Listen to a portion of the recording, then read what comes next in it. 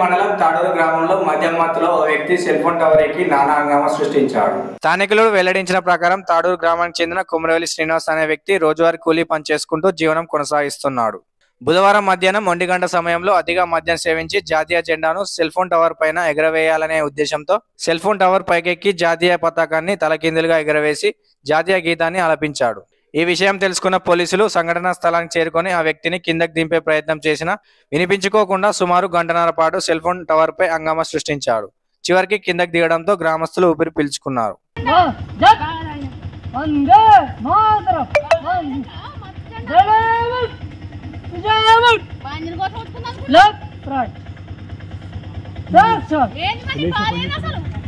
నా బాగా నా డబుల్ బెడ్రూమ్ ఖాళీ చేసి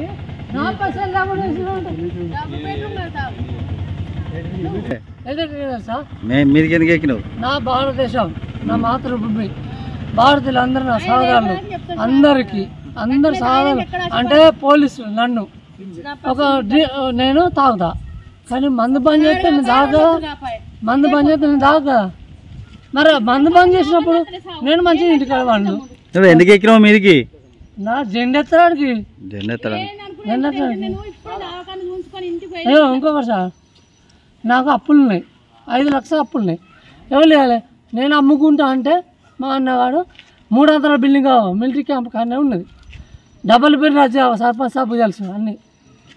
ఇక అది ఇక అది వెనకేసి కానీ తర్వాత ముచ్చట నాకు దయచేసి రేవంత్ సారు నువ్వు కేసీఆర్ అవి ఇవి అన్నావు కదా? కేసీఆర్ కేసీఆర్ ఇంకా నాకైతే మంచోడు. కేసీఆర్